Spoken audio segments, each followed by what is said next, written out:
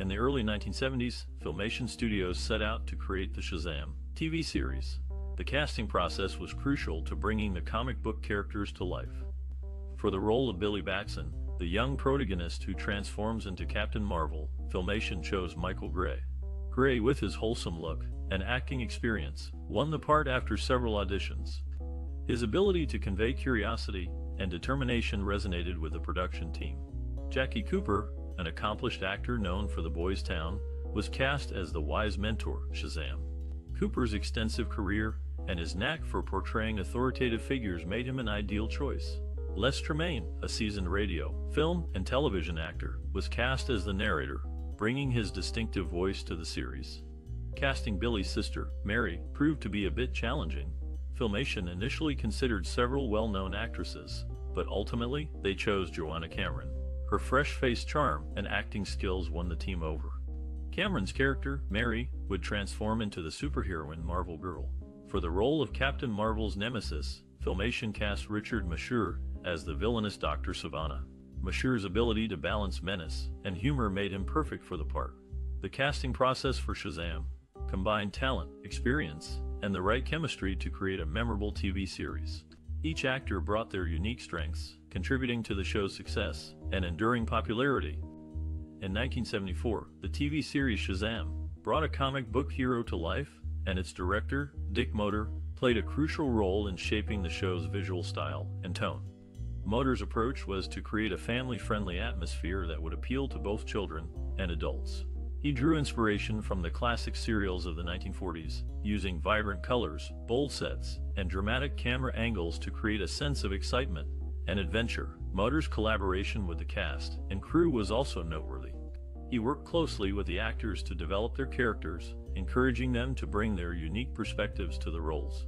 Moder's direction was always clear and concise, and he created a positive and supportive working environment that allowed the cast and crew to do their best work. The production design of Shazam was another key element of Moder's directorial vision.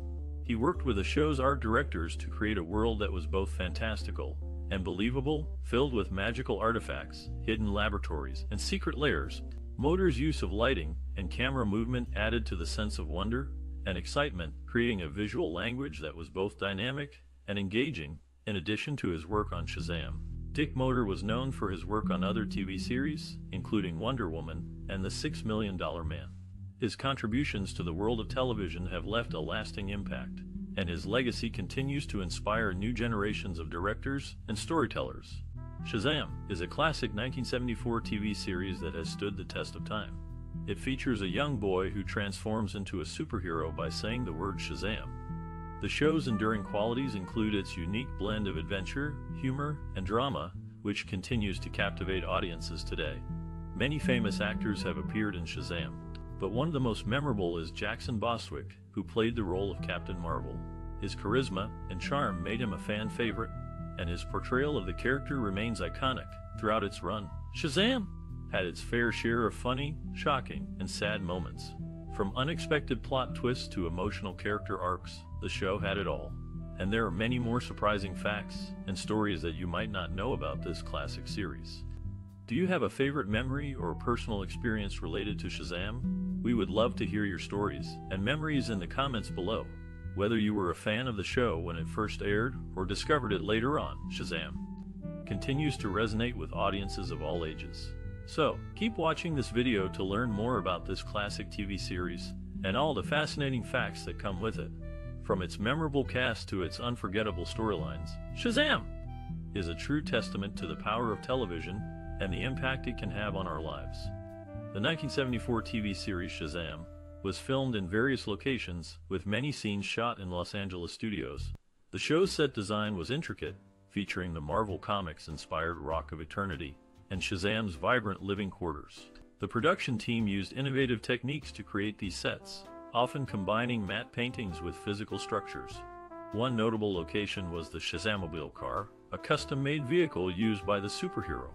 This required careful planning and coordination to ensure it could perform stunts while keeping actors safe. Logistical challenges included filming on a tight schedule and budget, with the crew often working long hours. Despite this, they managed to produce a high-quality show that resonated with audiences. The series also made use of cutting-edge technologies for its time, such as early video editing equipment and special effects techniques. These innovations helped bring the comic book world to life, contributing to the show's enduring popularity among older viewers. The 1974 TV series Shazam is a unique blend of Greek mythology and crime-fighting superhero action, making it a great show for kids. The story revolves around a boy who travels in an RV with an old man who bears a resemblance to Russ Doughton. The RV features the Shazam Thunderbolt logo, adding to the show's product placement. Shazam is a live-action superhero series that incorporates animated sequences of Greek gods and scenes of the fully grown Shazam flying behind a rear projection screen in fake aerial shots. Despite its low budget, the show is an enjoyable and harmless family fluff. The series features a group of characters who battle evil, with the main character transforming into a superhero when he utters the word Shazam. The show's special effects may seem outdated by today's standards, but for its time, they were impressive. Shazam is often compared to Chips Meet Superman, but it stands on its own as a unique and entertaining show. The series features a talented cast who bring the characters to life, making it a fun and engaging watch for kids and adults alike. While Shazam may not be Citizen Kane, it is a well-made and enjoyable show that has stood the test of time. The series offers a mix of action, adventure, and humor, making it a great choice for families looking for a fun and engaging show to watch together. In conclusion, Shazam is a classic superhero series that combines Greek mythology and crime-fighting action in a way that is both entertaining and engaging. Despite its low budget, the show features impressive special effects, a talented cast, and a unique storyline that has made it a favorite among fans for generations. The creation of the Shazam 1974 TV series score and soundtrack was a collaborative effort between composer Nelson Riddle and musician Johnny Williams. The music they composed complements the narrative and emotional tone of the series, enhancing the magical and adventurous themes. Nelson Riddle, an experienced composer known for his work on television shows and films, brought a sense of grandeur and adventure to the Shazam score. He used a full orchestra to create a rich and dynamic sound that captured the magical elements of the series. Riddle's music featured sweeping strings, bold brass, and playful woodwinds that added a sense of wonder and excitement to each episode. Johnny Williams, also a renowned musician and composer, contributed to the soundtrack with his talent for creating memorable and emotive music. He composed several themes for the series, including the iconic Shazam theme song. Williams' music was upbeat and energetic, capturing the spirit of the superhero and his adventures. The composers worked closely with the show's producers and directors to ensure that the music aligned with the narrative and emotional tone of each episode. The music was used to heighten the drama, build tension, and create a sense of excitement and adventure. It also helped to establish the show's unique identity and set it apart from other superhero shows of the time. The Shazam score and soundtrack have endured as a testament to the talent and creativity of Nelson Riddle and Johnny Williams. The music remains a beloved and memorable part of the series, capturing the spirit of adventure, magic, and excitement that defined Shazam in 1974. The 1974 TV series Shazam was filmed during the summer, with each episode taking just two and a half days to complete. The crew worked efficiently, with some having previously worked on the Lassie TV series. The voices of the elders in the show were performed by several individuals, including filmation producers Lou Scheimer and Norm Prescott, writer Mark Richards, and actor Adam West, who is best known for his role as Batman. In the original comic book, the wizard Shazam grants Billy Batson the power of Captain Marvel. However, in the TV series, Billy Batson receives his powers from the immortal elders themselves, rather than the wizard Shazam. This change in the source of Billy Batson's powers is one of the differences between the comic book and the TV series. One of the most iconic scenes in the 1974 TV series Shazam is when young Billy Batson transforms into the superhero Captain Marvel for the first time. The scene is filled with a sense of wonder and excitement as Billy exclaims Shazam, as Billy exclaims Shazam and is struck by a bolt of lightning, transforming him into the powerful hero. The direction in this scene is masterful, with the camera angles and lighting creating a sense of awe and amazement. The performance by actor Michael Gray, who plays Billy, is also noteworthy. He perfectly captures the wonder and excitement of a young boy suddenly gaining superpowers. The cinematography is also impressive, with the use of a bolt of lightning to signify the transformation adding to the visual impact of the scene. The special effects, while dated by today's standards, were groundbreaking for the time and added to the sense of wonder and excitement. This scene had a significant impact on the audience, as it introduced the character of Captain Marvel to television for the first time. It has since become one of the most memorable and iconic scenes in the history of superhero television. According to Michael Gray, that first transformation scene was always my favorite. It was such a magical moment, and I think it really captured the imagination of the audience. The scene has certainly stood the test of time, and continues to be a fan favorite to this day. In the 1970s, the television series initially titled Captain Marvel underwent a name change to Shazam, due to DC Comics, and the show's producers wanting to avoid confusion with Marvel Comics character of the same name. The series featured a character named Mentor, who was an adaptation of Uncle Dudley from the comic books. To emphasize the connection, Mentor donned a mustache, a feature not present in the comic book character. Interestingly, Mentor was also partially based on the wizard Shazam from the comics, although this was never explicitly confirmed in the show. In the episode The Lure of the Lost, Mentor displayed potential magical abilities. When Mentor and the protagonist, Billy, encountered a distressed woman named Holly, Mentor addressed her by name, startling Holly. When she asked how he knew her name, Mentor humorously claimed to possess great mystical powers and pointed out her name on her handbag. After Holly drove away, Billy chased after her on his motorcycle, leaving Mentor behind. However, Mentor mysteriously reappeared in a nearby tree, surprising both Holly and Billy. This led Billy to comment that Mentor had a knack for appearing unexpectedly. Shazam, a 1974 TV series, became popular by featuring a character that could transform into a superhero through the power of a magic word. The show resonated with audiences, particularly children, due to its unique blend of fantasy, adventure, and humor. It influenced pop culture by popularizing the concept of a superhero with a secret identity, inspiring future TV shows and movies. Shazam contributed to discussions on relevant social themes, such as the importance of wisdom, courage, and power in overcoming challenges. The series also promoted positive values like honesty, responsibility, and friendship, which left a lasting impact on its viewers. The show's cultural significance lies in its ability to entertain and inspire audiences while also addressing relatable issues and promoting moral values. Shazam remains a nostalgic favorite for many, representing a simpler time in television and offering a comforting escape from the complexities of the real world. The character known as Captain Marvel has an interesting history. Originally created by Fawcett Comics in the 1940s, the character was meant to rival Superman in popularity. However, a successful lawsuit by DC Comics, who owned Superman, led to Captain Marvel disappearing for over two decades. DC, which now owned the character, relaunched him in 1973, but due to a separate Captain Marvel character created by Marvel Comics, DC couldn't use the original title for the TV series. This is why the title Shazam was chosen instead. The word Shazam itself holds significance, as it stands for the six elders who granted Captain Marvel his power Solomon, Hercules, Atlas, Zeus, Achilles, and Mercury. Jackson Bostwick, one of the actors who played Captain Marvel in the TV series, was fired and replaced without much notice from the producers. They believed that children wouldn't notice the change in actors. However, Bostwick thought otherwise, and most viewers did end up noticing the change. It's worth noting that the character of Captain Marvel was actually created in 1939, as evident by an Ashcan copy of a comic printed under both the names Flash Comics, Hash 1, and Thrill Comics Hash 1.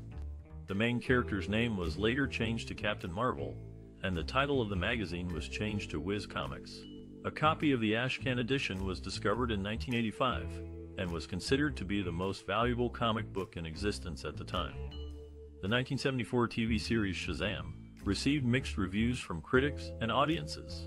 Some critics praised the show's lighthearted and family-friendly approach, while others found it to be cheesy and outdated. One of the show's strongest supporters was the TV Guide, which called Shazam a delightful change from the grim, morbid offerings that dominate children's television today. The review highlighted the show's wholesome values and engaging characters, particularly the lead actor, Michael Gray, who played Billy Batson. However, not all reviews were as positive. The New York Times criticized the show's low budget special effects and simplistic plots, concluding that Shazam was a disappointment for anyone looking for a sophisticated superhero series. Despite the mixed reviews, Shazam was nominated for several awards during its run. In 1976, the show received an Emmy nomination for Outstanding Children's Series, and Michael Gray was nominated for Outstanding Continuing Performance by a Supporting Actor in a Drama Series. The nominations were a testament to the hard work and dedication of everyone involved in the production of Shazam, from the writers and directors to the actors and crew members. The nominations also helped to solidify the show's place in television history as a groundbreaking and influential series. Overall, the critical reception and awards for Shazam reflect the show's unique blend of humor, adventure, and family-friendly entertainment. While the series may not have been a critical darling, it remains a beloved classic among fans of all ages, and its impact on the world of superhero television can still be felt today. In the 1974 TV series Shazam, the main characters Billy Batson and his mentor use a 1973 Winnebago open road class motorhome as their vehicle. Before the start of the first season, Mark Harmon was considered for the role of Captain Marvel. Billy Batson's job in radio was only briefly mentioned in the series, with a single line in the first episode stating that WHIZ had assigned him to report on American youth, with Mr. Mentor serving as his advisor. In the making of the 1974 TV series Shazam, there were many memorable moments that brought the cast and crew closer together. One such instance was when Jackson Bostwick, who played Captain Marvel, adopted a stray dog during filming. He named the dog Higher Authority, or Ha for short, which became a beloved part of the set. The show's producer, Robert Goodman, was known for his meticulous attention to detail. He once spent an entire day searching for the perfect kite to be used in an episode, wanting it to look just right on camera. This dedication to authenticity was evident in every aspect of the production. Les Tremayne, the actor who played Mentor, had a wealth of experience in the industry, having worked with Orson Welles and starring in numerous radio dramas. His wisdom and stories from past projects provided endless entertainment for the rest of the cast and crew. Michael Gray, who played Billy Batson, was only 13 years old during filming. Despite his young age, he quickly became close friends with his co-stars, particularly Bostwick. They would often spend time together off set, further strengthening their bond and camaraderie. Behind the scenes, there was a strong sense of family and friendship among the cast and crew. They supported each other through long days of filming and celebrated every success together. These personal connections undoubtedly contributed to the warm and engaging atmosphere that made Shazam so special. In the live-action TV series Shazam, which aired from 1974 to 1977. Each episode concluded with a moral lesson. These endings were delivered by different actors throughout the series. Jackson Bostwick, who played Captain Marvel in the first season, and some episodes of the third, gave the life lessons in the first season, and some in the third. Michael Gray, as Billy Batson, took over in season 2, and the beginning of season 3, along with baseball great Maury Wills in one episode.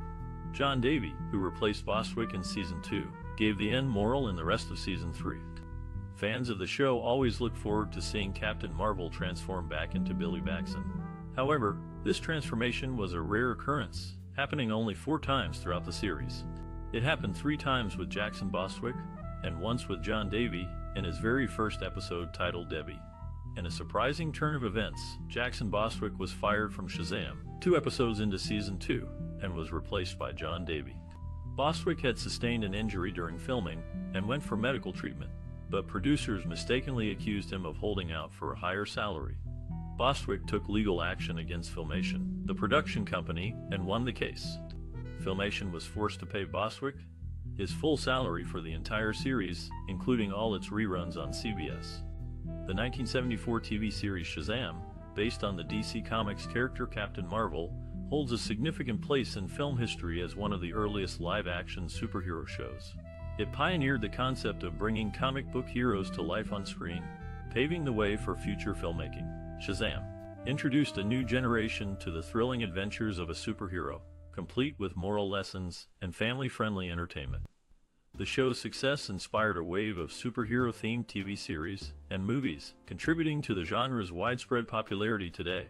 One notable aspect of Shazam is its influence on the 2019 film of the same name. The movie pays homage to the original series while updating the story for modern audiences. This demonstrates the lasting impact of the 1974 show and its ability to resonate with new generations. Additionally, Shazam has inspired various other media adaptations, such as comic books, animated series, and even a live-action film reboot in 2019. These subsequent works serve as a testament to the enduring appeal and influence of the original TV series. In summary, the 1974 TV series Shazam has left an indelible mark on film history, inspiring future filmmaking and numerous adaptations. Its family-friendly approach to superhero storytelling has captivated audiences for decades, ensuring its lasting legacy in the world of entertainment. The 1970s saw the production of two popular television series, Shazam and The Secrets of Isis, by the same company. As a result, crossover episodes frequently occurred, allowing characters from both shows to appear together in various adventures. This collaboration provided viewers with diverse and engaging content, enhancing their overall viewing experience. In the 1974 TV series Shazam, a tragic event occurred during its production. The show's original star, Jackson Bostwick, who played Captain Marvel, was abruptly fired after the first season due to a contract dispute. This sudden change left the production team scrambling to find a replacement, and Michael Gray was ultimately cast as the new Captain Marvel. The abrupt departure of Bostwick was a shock to both the cast and the audience, and it remains a sad footnote in the show's history. If Shazam, the 1974 TV series, left an impression on you, we'd love to hear your stories.